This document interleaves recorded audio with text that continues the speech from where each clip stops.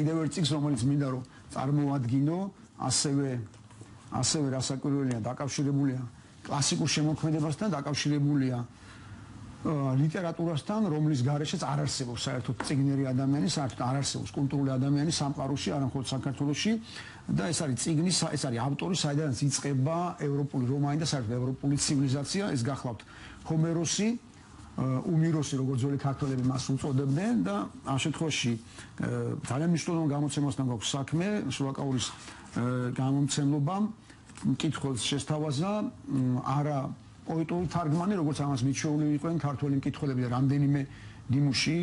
აქვთ ესე იგი რამდენიმე წელს მანძილზე, არამედ ამ შემთხვევაში საქმე გვაქვს პროზაულ ტექსტთან, პროზაულ ტექსტთან, ანუ ნარატივთან, ანუ ამბის თხრობასთან, რომლის ავტორიც გახლავთ, თარგმნელი და ავტორი გახლავთ ბატონ ლევან ბერძენიშვილი, რომელსაც ძველი ბერძნულიდან თარგმნა ილიადა და მე თუ მკითხავთ, ეს არის გადასარევი გამოსავალი იმ ადამიანებისთვის, ვისაც არ მოსწონს ძველ პოეტურ ტექსტებში არსებული პათეტიკა, სირთულე, რომელიც ახლავს პოეტურად შექმნილ ტექსტების გაცნობას და ურჩევნია, რომ ეს წაიკითხოს როგორც პროზად, როგორც გაეცნოს, როგორც ამბავს, როგორც ისტორიას, როგორც თავგადასავალს და მე ვფიქრობ, რომ გადასარევი გამოსავალია, გადასარევი გამოსავალია, ამის შემდეგ აუცილებლად ამ ტექსტის წაკითხვის შემდეგ კიდევ უფრო გაუჩნდებათ არათუ დაშორდებიან ჰომეროს და კონკრეტულად ილიადას, არამედ უფრო მეტად გაუჩნდება ქართულ კითხულს ილიადას გაცნობის ორიგინალში თუ არა პოეტურ თარგმანში გაცნობის სურვილი. სხვა შორის შესავალიც აქვს ბატონი ლევან ბერძენიშვილის კომენტარებიც აქვს და ეს ტექსტი არ არის ჩვენთვის უცხო მოგეხსენებათ პირველი ლიტერატურული ნაწარმოებია ევროპული საიდანაც იწყება ქალის ბრძოლა. ნუ თუ იმასაც გავითვალისწინებთ, რომ ამ წიგში აღწერილი ამბები, რომლის თავარი გმირი ჰექტორიც ჩვენი შორეულ ნათესავია, მაშინ კიდევ უფრო საინტერესო უნდა იყოს ქართველებისთვის, თუ არა და შესავალში აქვს ახსნილი ბატონ ლევან ბერძენიშვილის თუ რატო უნდა წაიკითხოს ადამიანმა ილიადა, რა ააკლდება თანამედროვე ადამიანს ილიადას და ჰომეროსის გარეშე. ეს არის ძალიან მნიშვნელოვანი და მე მგონი ძალიან მნიშვნელოვანი საჩუქარია. მე მაგალითად ვისურვებდი ვისურვებდი რასაკვირველია რომ ჩვენი ასეთივე საგანძური ხო ლიტერატურის საგანძური ვეფხისტყაოსნის სახით რომელიც გაგვაჩნდა რომელიც ვერ გავაცანით დანარჩენ სოფლიო სამწუხაროდ ვისურვებდი რომ სანამ მოახერხებ ეს თითქმის შეუძლებელია და ძალიან რთულია სხვადასხვა ენაზე. ასეთი პოეტური ტექსტების თარგმნა როგორც ვეფხისტყაოსანია მე ვისურვებდი რომ როგორც სანამ გაიცნოს სოფლიო შოთა რუსთავის როგორც უდიდეს პოეტს ვისურვებდი რომ როგორც მოაზროვნე როგორც ფილოსოფოსი მაინც გაიცნო ამიტომ მომხრე ვიქნებოდი აკადემიური თარგმანისა,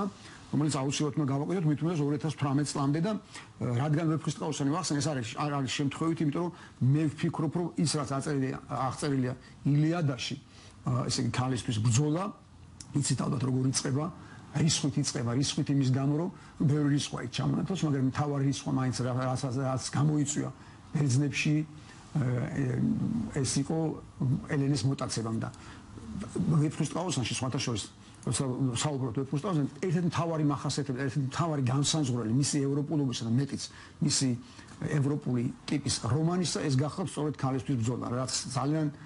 არ ახასიათებს აღმოსავლურ ლიტერატურას პირიქით აღმოსავლურ ლიტერატურაში აღმოსავლურ ყოფაში და აღმოსავლურ თავგადასავლებში ქალისთვის ბრძოლის ნაცვლად ხდებოდა საუკუნეების მანძილზე ქალისთვის საფასურის გადახდა. ანუ მარტივად ვთქვათ ქალის ყიდვა. ჩვენ გვაქვს ევროპული რომანი ამას სულ მიმეორებ ჯერ კიდევ მე-12 საუკუნეში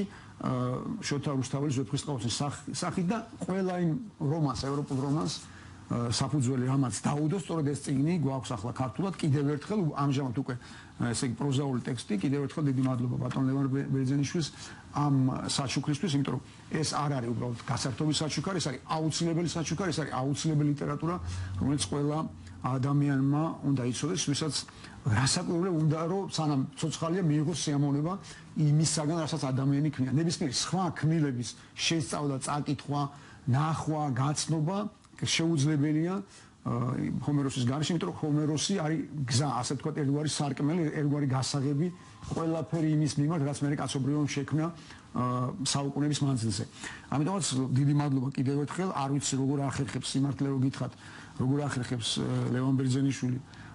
ესე იგი იმ საქმიანობის პარალელურად რაც დაეკისრა, რაც დაკისრებული აქვს ასეთი ტექსტის თარგმნას, თან ეს არის ძალიან მაღალ პროფესიულ დონეზე ბუნებრივია, რანერეთ ახერხებს, მაგრამ სასიხალო რომ ახერხებს და გვაძლევს საშუალებას, რომ ასეთი ციგნი იყოს ჩვენი ჩვენი კითხვისთვის მშობლიურ ენაზე ხელმისაწვდომი.